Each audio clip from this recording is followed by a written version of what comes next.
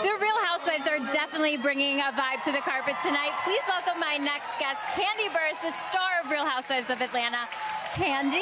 Hello. You look stunning. Thank you. This is what I want on the red carpet. I want glitter, I want feathers, I want a ponytail. Come on.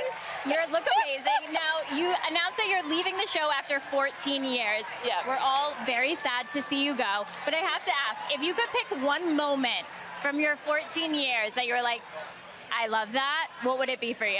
Oh my gosh, that I loved. I mean, meeting my husband Yes. through Oh, the yes, show, that that's is a big one. Yeah, that's We a huge one for me. Our season that we went, took the Africa trip is where I met Ty. I didn't meet him on camera, but that's where I met him. No, I watched every single episode. I remember the first day you came on. Thank and you. Amazing. You truly make the show. I have a question. Out of everyone, you see meet so many people, you see so many people. Who are you most excited to see tonight? Ooh, everybody. I feel like out of all the award shows, this one is like one of the most fun. Yes. You know, and it's all about the people and what the people want. Yep. And so I think it's just a good time. So I love seeing what everybody wears. Everybody gets real creative at this Yes. at this one.